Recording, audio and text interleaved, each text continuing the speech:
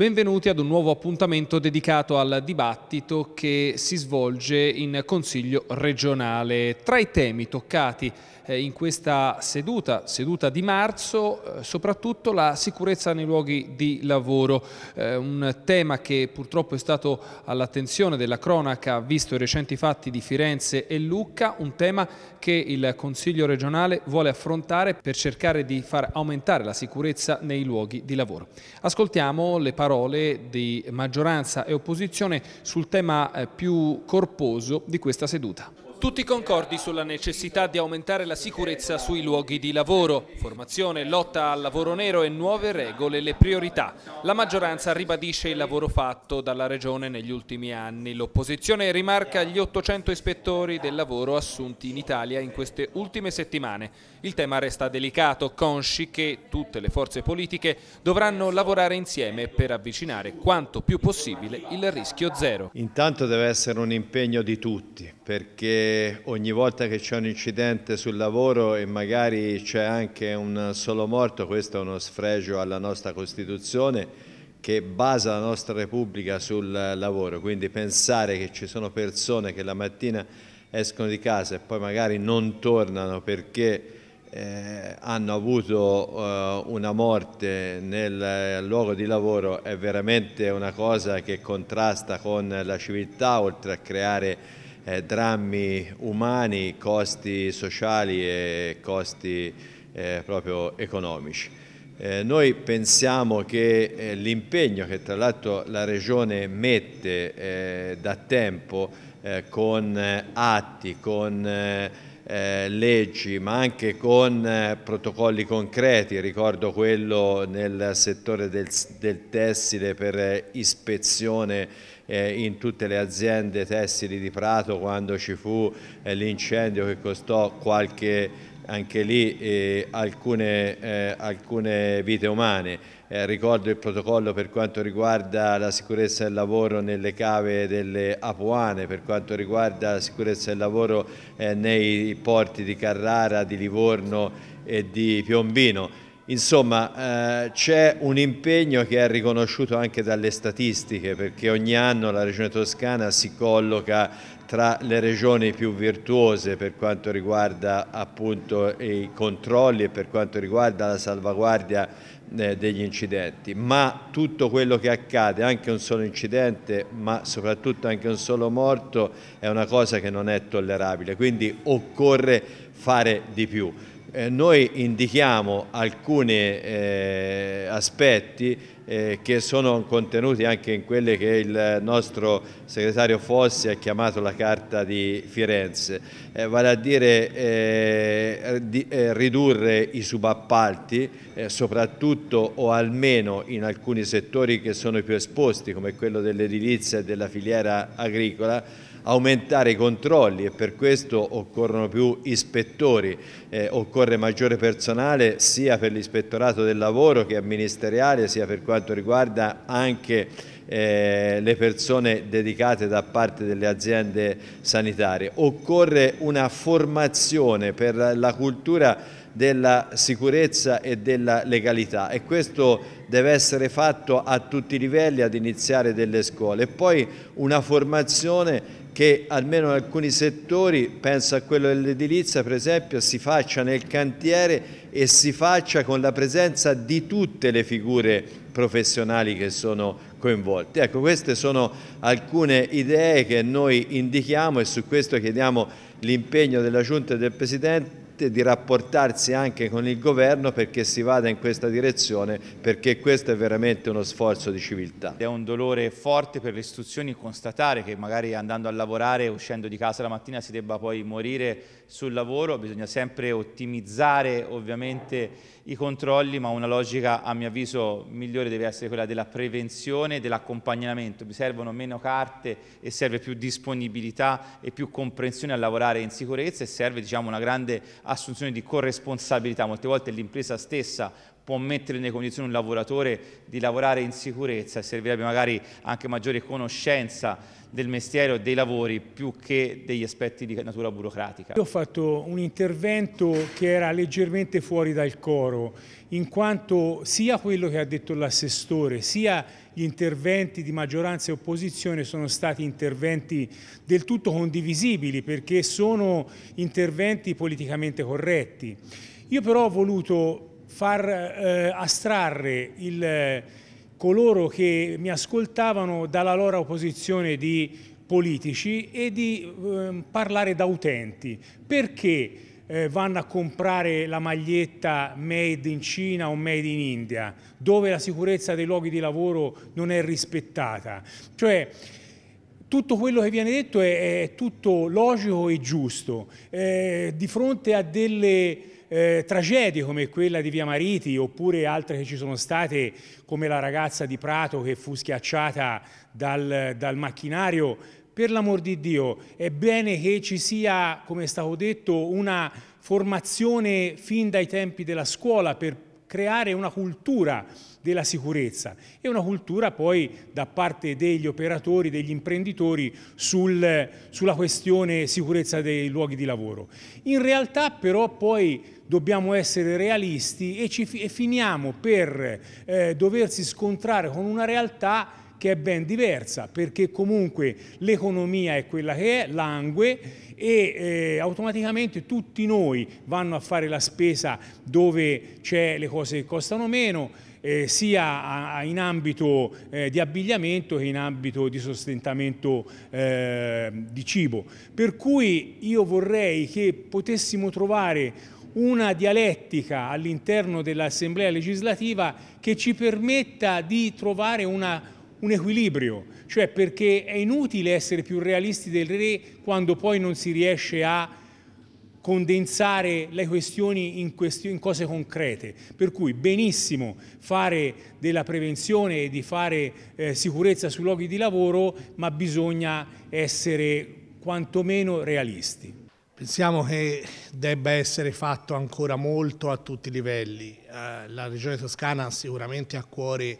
eh, la sicurezza dei lavoratori e da quanto si evince dalla comunicazione dell'assessore Cioffo eh, sicuramente non è un tema che passa in secondo piano all'attenzione di, di chi governa oggi la Regione. Stesso discorso vale per il governo nazionale. Il governo nazionale ha messo in piedi un aumento, ha assunto 800 nuovi ispettori per eh, controllare e vigilare sui cantieri, sugli appalti, eh, ha messo in programma un aumento del 40% dei controlli e aggiungo io, tanti di questi controlli dovranno essere fatti anche sulla tipologia di contratti, non soltanto eh, sui dispositivi di sicurezza usati o su come i cantieri lavorano, perché purtroppo anche il tema dei contratti è un tema che, che ricorre sempre più spesso, spesso e volentieri al lavoratore non si, sta, non si fa il contratto più consono consono e più congruo alle proprie mansioni, ma quello più congruo e più consono alla sua retribuzione e, quindi, e questo è quanto di più sbagliato possa accadere. Io mi auguro che non ci siano divisioni politiche e che la si finisca di strumentalizzare la, la, chi perde la vita, chi esce da casa per andare eh, a lavorare e non fare ritorno alla propria famiglia, che è quanto di più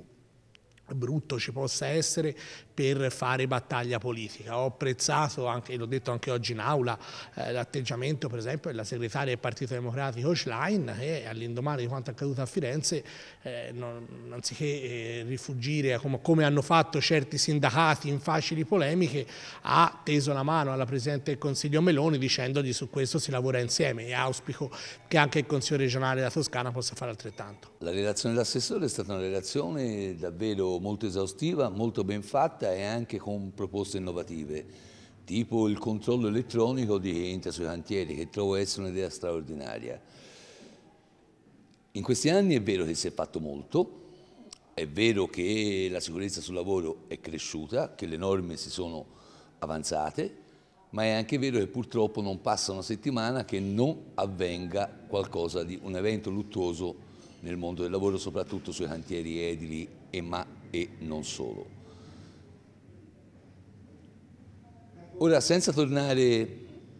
a rivangare quanto accaduto sul, eh, sul, cantiere qui a Firenze, in Via Mariti, che purtroppo insomma, è stato un evento così eclatante, forte e luttuoso che ha visto morire padri di famiglia, figli, genitori,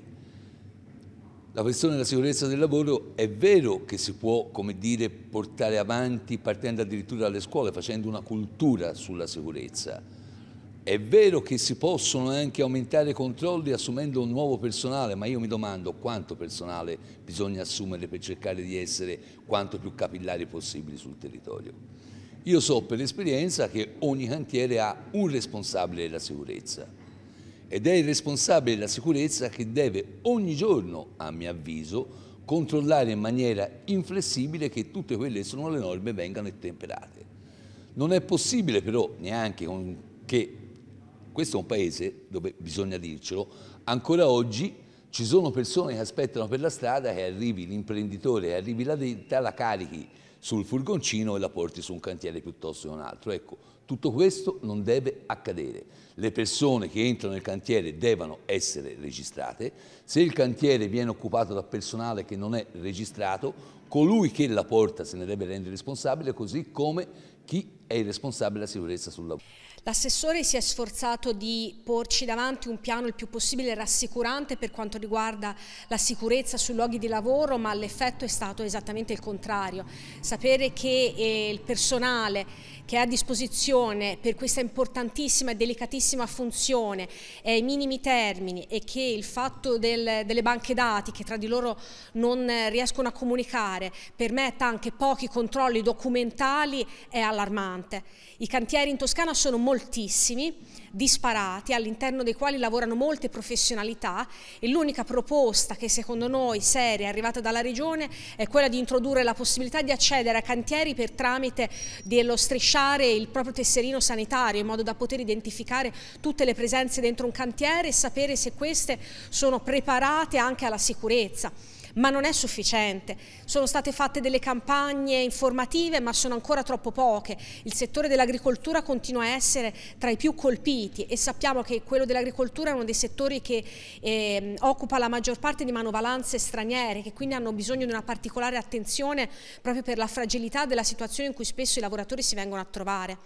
È sottodimensionata l'infortunistica all'interno del sistema ferroviario e abbiamo il sistema del massimo ribasso che fa sì che la tutela del lavoro e dei lavoratori passi in secondo piano rispetto a quelli che sono dei,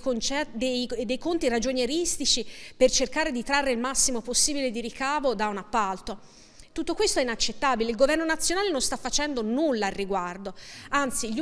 unico eh, passaggi che sono stati fatti sono stati gli aumenti del personale per l'ispettorato nei posti di lavoro che sono stati fatti con i governi in cui il Movimento 5 Stelle si curava del lavoro. Sappiamo che è in discussione il decreto lavoro appunto al Parlamento che andrà appunto ad intensificare dal punto di vista di controlli, dal punto di vista di gestione la sicurezza sul lavoro e abbiamo apportato anche noi delle richieste alla giunta regionale perché pensate nel 2017 è stato chiuso l'apparato gestionale dal punto di vista amministrativo regionale che gestiva tutto il tema della sicurezza sul lavoro ed è stato accorpato a tutto quello che oggi è il tema della sanità, il tema della gestione diciamo anche sulla sicurezza in tema sanitario. Quindi un unico eh, diciamo maxi, una maxi struttura regionale su cui però ci sono dei dati allarmanti perché Pochissimi sono i dipendenti che occupano diciamo, la posizione in tema di controlli, in tema